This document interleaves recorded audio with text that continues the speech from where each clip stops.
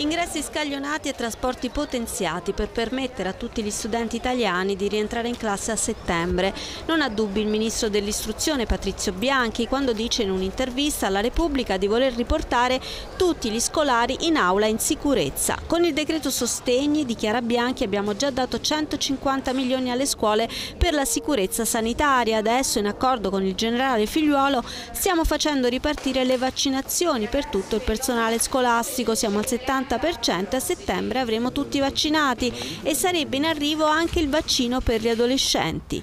Per la ripartenza occorrerà avere tutti i docenti in cattedra, ma sono oltre 200.000 gli insegnanti precari. Si parla di sanatoria, anche se Bianchi smentisce la sua intenzione di farne una. Il suo obiettivo è arrivare a un sistema a regime con concorsi annuali.